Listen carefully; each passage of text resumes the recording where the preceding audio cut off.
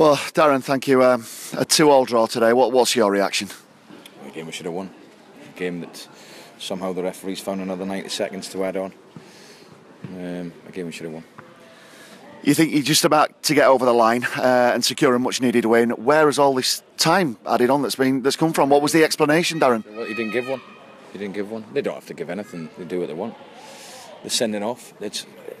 I mean, I don't understand this fourth official thing. He's there for a reason. I've asked him whose foul it is. He said it's your foul.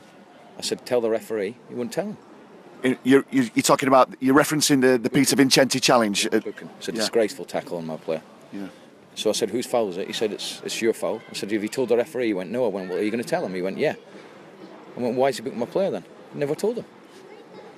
I mean, it's, it's, we're fighting for our lives here, for, for our uh, livelihoods, and you get nonsense like that. It's, it's, it's not excuses. It's, it's absolute nonsense.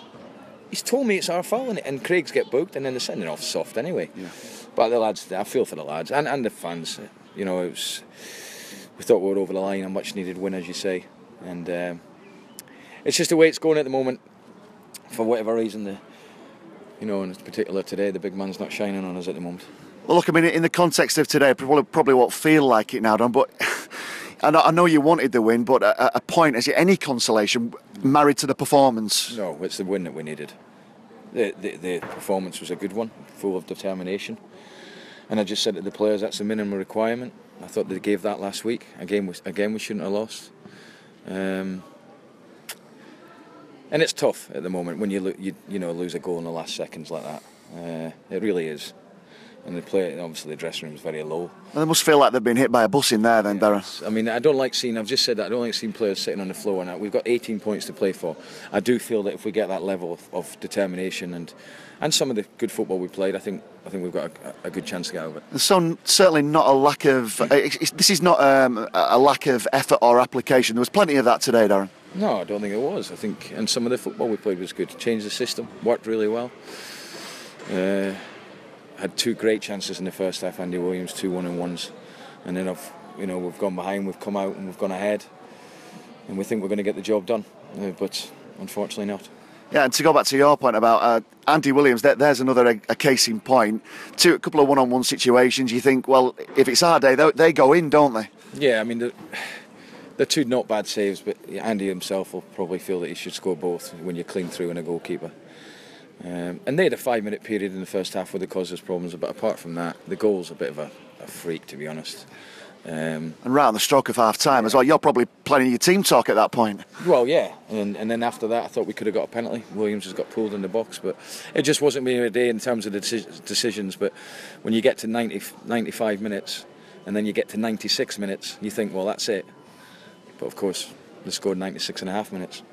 I mean, a tough Easter period, Darren, but at least now a full week to prepare for another test against Bury. At least you've, you've got that seven-day breather, haven't you, to, to regroup, to recalibrate. Yeah, and to, apart from the Chesterfield game, we've now got a, a good gap between the Saturday Saturdays, you know, and you know we've got Bury and then Wigan. So we, yeah, we've got plenty of time to uh, to get our work done. You know, there's not such that you know apart from obviously Easter's gone now. After that, we knew that there would be breaks between the games, but. Uh, Listen, I, I'm, I'm, I'm gutted really for, for, for the fans and the players today because it was a, a game we deserved to win. I mean, I remember speaking to you, Darren. You were you were nine wins out of fifteen from when you first arrived here, and then there's been this drop off. I mean, can you pinpoint one area where you feel that has gone alarmingly wrong, or are we looking at a number of issues up to this point? Taking today's performance out of it, how do you look for that that one thing where you think, well, it, it must be that, it must be this? No, I don't think. I mean, listen, if I knew the answer, then it would have been sorted.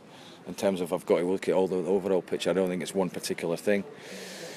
Uh, I think there's games that we've played where we've deservedly lost and not definitely had enough shots at goal. I think there's games we've played where we should have won. Today being one of them, but we just can't seem to get that win. And like I say, we're just not getting that little. That you know, today things have gone against us. Six games left after today, obviously. How, do you see it unfolding now? I, guess it's a terrible cliche, but everyone's a cup final, isn't it? Yeah, it has been for a while. And, and, and look, you know, we've got to fight like we did today for every point and everything we can get. But I've seen enough today to suggest to me that it's six winnable games. There's, uh, that's how we've got to look at it. We've got to, we, like you say, we've got time between games, so we can really focus on individual games go to Bury. It'll be another battle on, a, on a, a, another poor pitch, and we've got to make sure that we, we deal with that side of things and, and still look to play football like we did today. And lastly, from me, Darren, Luke McCullough brought back into the side today. How, how do you think he did after the? Outstanding. Uh, he had a nice holiday in Ireland. So he was, he, he was uh, it was a hard decision to leave Middleton out because I thought he was one of my best players last yeah. week. But we, we felt that we had to look after their number ten, and McCullough's a lot more defensive minded. I thought he was outstanding today. Many thanks. Thank you, Dan.